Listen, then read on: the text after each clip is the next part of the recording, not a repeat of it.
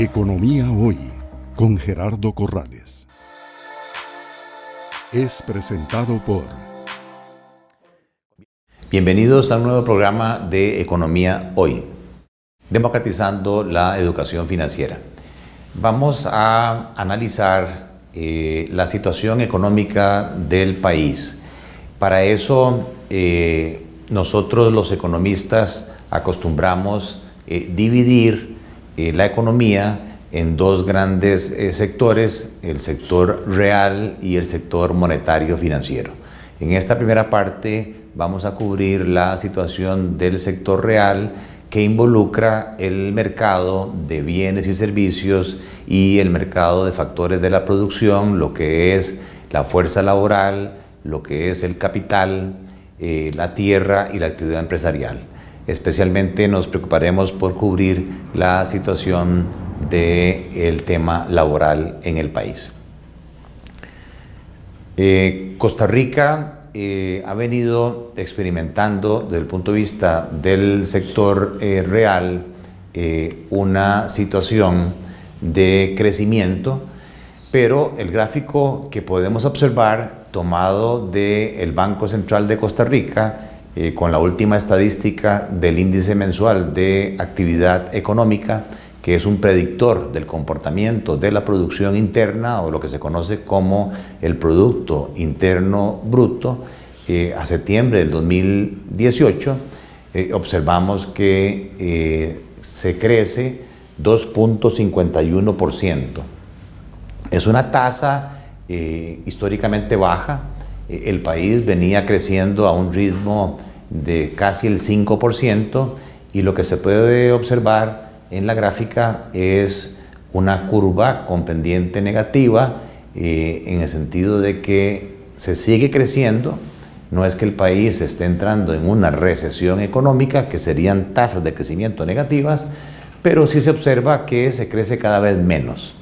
Y esto es importante porque en el tanto en que haya crecimiento económico, en el tanto en que la producción crezca, hay optimismo, hay oportunidades de empleo, hay más ingresos, más capacidad de compra y eso a su vez mejora el bienestar de las familias, de las empresas, pero también hay mayor recaudación tributaria, o sea que tiene incidencia sobre las finanzas eh, públicas. Por eso se dice que es muy importante revertir esta eh, curva para que eh, volvamos a tener tasas de crecimiento, sí, positivas, pero más cercanas a niveles del 5 o 6%, que es lo que nos permitiría en un plazo eh, relativamente mediano poder alcanzar niveles de eh, ingreso o de producción equivalentes a países desarrollados, no los 12 mil dólares per cápita por persona que tenemos hoy, sino niveles superiores a los 25 mil dólares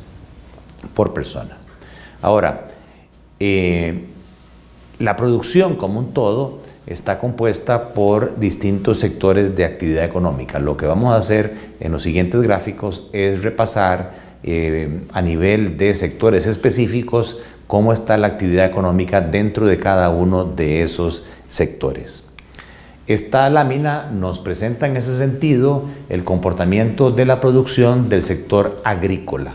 y podemos observar eh, varias eh, líneas eh, donde la línea azul nos muestra el comportamiento del sector agrícola como un todo. vean que se venía creciendo a niveles del 4.57%, pero se observa una desaceleración eh, que incluso nos lleva a una tasa del 2.08%.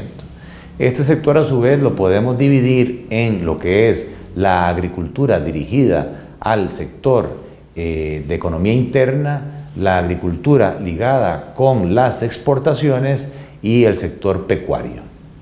Evidentemente, el gráfico nos dice que el sector exportador es un ganador, venía mostrando tasas de crecimiento cada vez mayores, alcanzando incluso un nivel de 11%, especialmente productos no tradicionales como la piña, aunque también el banano ha mostrado comportamientos importantes y se ha logrado diversificar el sector eh, no tradicional con bastantes productos dirigidos especialmente a los Estados Unidos, Europa y en el tanto en que estas economías se recuperen, el sector exportador agrícola se ve beneficiado.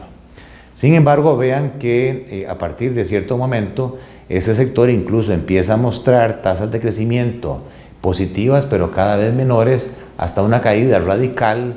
que lleva al 1.2%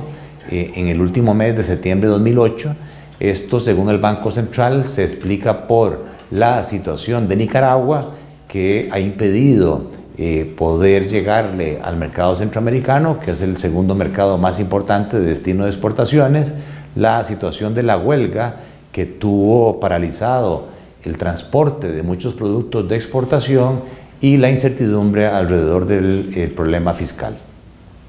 Luego eh, tenemos una situación crítica que es la agricultura dirigida al mercado interno, prácticamente ha estado eh, lo que se llama plana, flat, con un crecimiento nulo. Este, este es un mercado en problemas, este, es un mercado que no crece y por lo tanto eh, ahí no hay oportunidades de empleo desde el punto de vista de la política nacional y de la planificación nacional. Hay que buscarle alguna solución a estos productores eh, agrícolas que orientan su